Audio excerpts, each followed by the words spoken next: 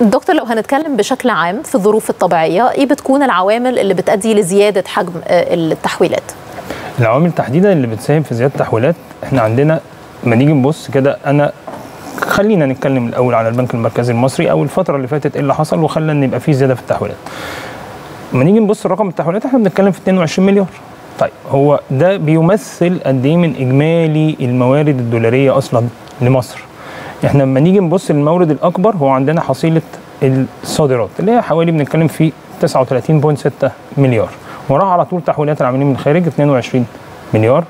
وبعد كده بنتكلم في السياحة 13.6 ويليها الاستثمار المباشر حوالي 10 مليار. ثم قناة السويس 8.7 مليار. طيب. م. وبالتالي هنا أنا عندي تحويلات العاملين من الخارج هي المورد رقم اثنين والمورد الأقل الاقل تكلفة على الاقتصاد المصري لأن أنا ما فيش أي تكاليف كتير زي مثلا الصادرات. ببتدي أصرفها عشان التحويلات تجي لي. صحيح. وبالتالي هنا أنا محتاج أدعم أكتر التحويلات العاملين من الخارج طب أنا بدعمها إزاي؟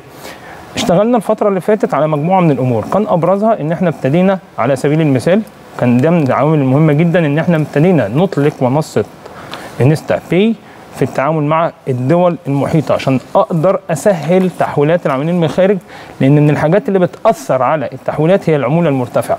اللي هي بتتجاوز ال 5% ودي من ضمن التوصيات الخاصة بأهداف التنمية المستدامة إن إحنا نقلل التكاليف عن 5% وصلت التكاليف لحوالي 3% دي كانت أول عامل اللي هو منصة إنستا إنها تتعامل مع الدول المحيطة زي الإمارات والسعودية وخلافه في أمر تاني ده كان من الحاجات اللي ساعدت برضو إن البنك المركزي المصري ابتدى يشتغل مع الدول المحيطة من خلال طبعا صندوق النقد العربي في منصة بنا اللي هي المنصة المسؤولة عن التحويلات الرقمية أو التحويلات المالية على مستوى الدول العربية.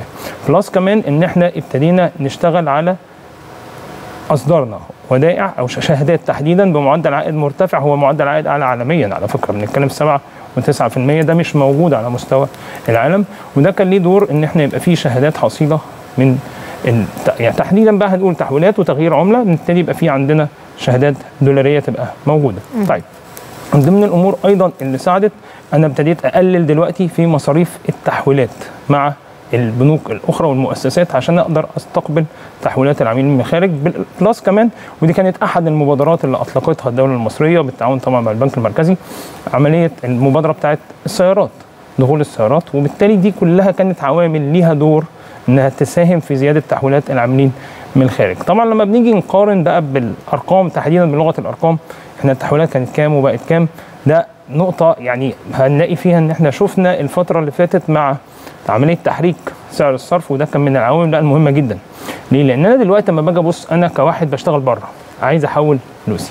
طيب أنا عندي سعرين سعر في السوق الموازي خلينا نقول X وفي السعر في السوق في السوق الرسمي X minus 2 فأنا دلوقتي هروح أشتغل مع أنهي؟ نفس كانت مشكلة المستثمرين دي كانت مشكلة المستثمرين طيب برضه. دكتور دلوقتي إحنا بنتكلم عن هذه العوامل.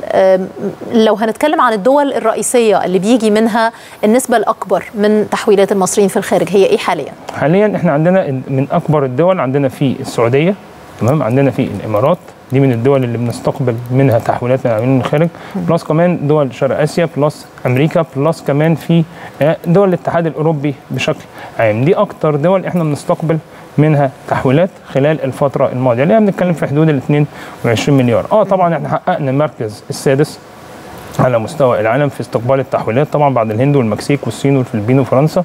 ولكن إحنا بنتكلم في إحنا المساهمة بتاعتنا في الرقم قد إيه؟ في رقم التحويلات. إحنا بنتكلم في إجمالي التحويلات 860 مليار. م.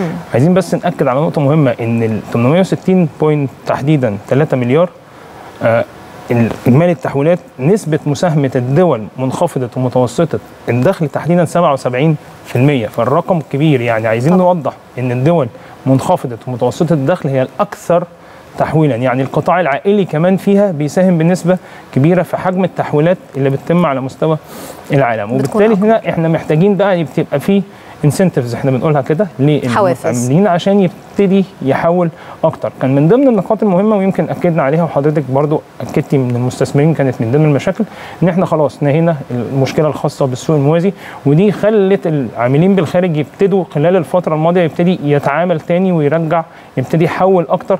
طبعا مع InstaPay ده كان ليه برضو عامل تاني أكبر عشان أبتدي أقدر أستقبل. لأن إحنا لو بصينا تحديدا المركز المصري لما جه اشتغل في InstaPay اشتغل مع الإمارات والسعودية عشان يبتدي يستقبل أكبر كم من التحويلات خلال الفترة الماضية. طيب لو هنتكلم بشكل عام برضو يا دكتور إنه التحويلات المالية للعاملين بالخارج لو بشكل مبسط تشرح للمشاهد إزاي بتأثر على الاقتصاد المصري؟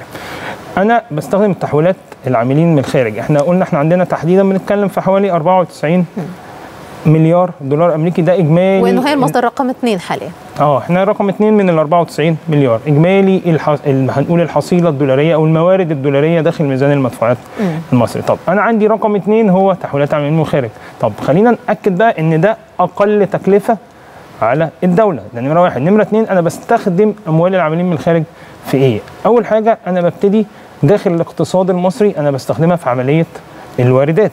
وليس الصادرات إحنا الصادرات ده إن إحنا بنتكلم في الأول بستخدمها في تيسير عملية الإفراج الجمركي. عشان أقدر ادخل السلع اللي بدورها كمان لما يحصل وفرة في وجود السلع داخل الاقتصاد المصري هيكون ليه ريفلكت على. التضخم لأن إحنا شفنا الفترة الماضية كان في تأثير في عملية عدم الإفراج ابتدى يبقى في شح شوية في البضائع ولكن دي من العوامل اللي بتساعدني في إن أنا أقدر أفرج عن السلع أقدر أدخلها وبالتالي بتساعدني في عملية الواردات كمان بتساعدني في عملية توفير أو تيسير التعاملات مع عمليات الاستثمار المباشر لأن أنا لما الاستثمار المباشر بيجي يشوف طب حجم التحويلات العاملين في الخارج أخبارها إيه؟ طب هي بتقل ولا بتزيد؟ وبالتالي هنا الاستثمار المباشر لما يلاقي فيه الحركة شغالة وفي قنوات رقمية لأن دي من الحاجات المهمة جدا اللي بتساعد في عمليات تحويل تحويلات الأموال بوجه عام بقى مش هنقول عاملين من الخارج أو الداخل لا بوجه عام بتيسر بشكل كبير طبعا. بتوفر حاجات كتير. وبالتالي هنا أنا كمستثمر أجنبي لما باجي أشتغل معاك وبلاقي إن في ابلكيشنز رقمية موجودة عمليات تحول رقمي موجودة داخل الاقتصاد وبالتالي ده بيساعدني أكتر. وبالتالي هنا زيادة تحويلات العاملين من الخارج بيكون ليها دور في حاجات كتير. نمرة واحد الاستثمار المباشر نمرة اثنين بتزود بتساعدني أنا إن أنا أبتدي أساهم في عملية تيسير دخول أو الواردات تبقى موجودة عندي بشكل كبير. طيب سؤال أخير وسريعا يا دكتور إنه لو هنبص على العام المالي المقبل مصر بتستهدف الوصول بحجم تحويلات العاملين ل 33 مليار دولار. توقعاتك إيه لمسيرة الوصول لهذا الرقم؟ ممكن تكون أبرز المصادر إيه اللي هتتشجع علشان تشارك أكثر يكون لها النصيب الأكبر من التحويلات؟ إيه ممكن تكون الإجراءات الإضافية غير اللي حضرتك ذكرتها اللي ممكن تشجع؟ تمام. خلينا نقول إن الرقم مش بعيد خالص. ليه؟ لأن إحنا بنتكلم إحنا في العام الحالي بنتكلم في 22 مليار العام المالي الذي يسبقه. بنتكلم في كام؟ في 31.9 يعني الرقم مش بعيد. اللي قبليه كنا 31.4 مليار. وبالتالي هنا أنا عايز أوصل ل 33 طيب مع تحريك سعر الصرف اللي حصل وإن أنا بقى ما فيش عندي سوق موازي خلاص بقى السعر واحد ما بين في داخل شرايين الاقتصاد المصري أو التعاملات عموما وبالتالي هنا أنا هقدر أستقطب مزيد من التحويلات. من أهم الإجراءات بقى اللي عايزين نركز عليها إن أنا أستمر أستمر بشكل مباشر في تشديد الرقابة على السوق الموازي أستمر بشكل مباشر أيضا في زيادة حصيلة الدولة من الموارد الدولارية اللي هي بتتم من خلال الاستثمار المباشر وليس طبعا الاستثمار غير مباشر لأن إحنا شفنا ليه side effects على الاقتصاد المصري. وبالتالي هنا أنا محتاج بقى إن أنا أزود عمليات الاستثمار المباشر استمرارية في الموارد الدولارية اللي موجودة عندي. وبالتالي ده هيساعدني أكتر في إن أنا أستقطب المزيد من التحويلات وأقضي خالص على السوق الموازي وما يرجعش يظهر تاني لأن مجرد ظهوره هيعمل هيعمل برضه هيعمل drop تاني وهيبقى في انخفاض في تحويلات العاملين من الخارج. طيب إذا الرقم ليس ببعيد دي يمكن تكون يعني النقطة حقيقي. الأكثر أهمية. أنا بشكر حضرتك شكرا جزيلا دكتور أحمد شوقي الخبير المصرفي على كل هذه التفاصيل. حضرتك. شكرا.